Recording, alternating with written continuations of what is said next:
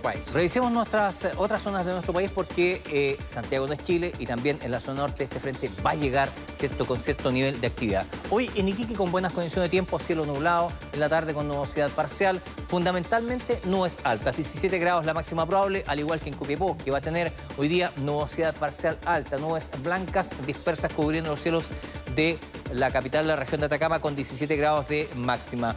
Con índice UV en categoría de moderado. En Illapel, en Illapel llegan los chubascos, ¿cierto?, esta tarde, al final de la tarde. Previo a eso también van a tener bastante sol, así que en horas de la mañana van a alcanzar la categoría de moderado con el índice de radiación ultravioleta. La máxima en Illapel, en la provincia de Chuapa, al sur de la región de Coquimbo, 14 grados solamente, una condición bastante distinta a su habitualidad. Chubascos en la tarde en la región de Coquimbo en las provincias de Limarí y también Choapa en particular en Illapel. En Valparaíso, en la tarde, con chubascos, la mínima fue de 12 grados, la máxima solamente 13 grados.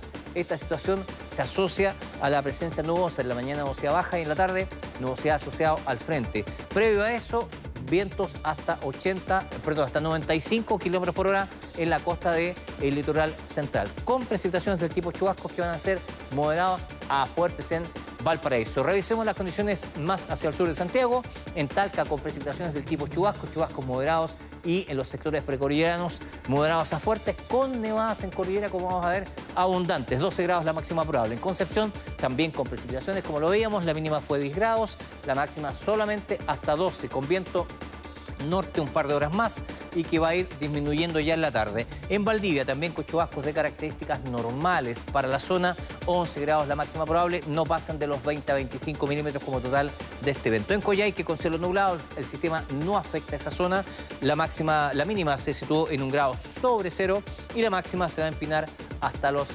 7 grados. Hemos mencionado bastante la nieve, porque es importante, más allá del panorama, Rodrigo, que es bastante agradable verlo después de muchos años, la cordillera cubierta, porque van a caer importantes cantidades de nieve. Esto es lo que vamos a revisar en esta gráfica en 3D, ahí en la región, en la zona norte, en la región de Coquimbo, entre, me acerco un poquito, es desde 60 hasta 80 centímetros de nieve, una cantidad muy importante para la zona.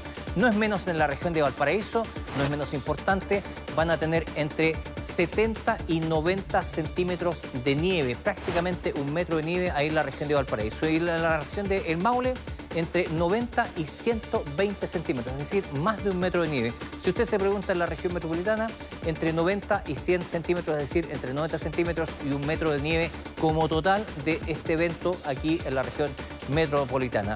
Pero uno se pregunta hasta dónde va a descender la línea de nieve. Bueno, veamos las isotermas, lo que nos permite decir... Qué linda gráfica, Jaime. ¿ah? Muy bonita, Rodrigo. Felicitaciones al equipo de producción de gráfica del canal de Megas. Precioso.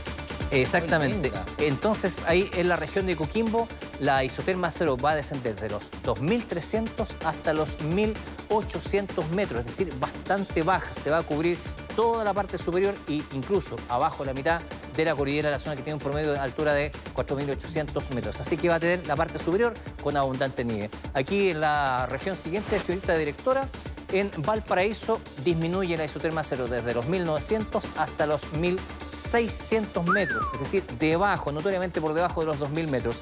Y finalmente, en la última región, en la región de eh, Metropolitana, vamos a tener un descenso de la isoterma cero desde los 1.900 metros hasta los 1.500 metros. Esto significa que San José de Maipo mm. va a tener nieve, Rodrigo, particularmente hoy día en la noche y la madrugada de mañana hasta el amanecer. Así que a prepararse porque la nieve va a ser importante en cantidad, incluso ahí en San José de Maipo. ¿Es recomendable no ir entonces, pues Jaime? Absolutamente no, Rodrigo. Tal como recomiendan las autoridades, haga actividades en su casa o en el patio de su casa porque afuera son días distintos, son días de lluvia, son días de nieve, de baja temperatura, de viento, así que hacer caso a todas las recomendaciones porque se pasa mejor este temporada.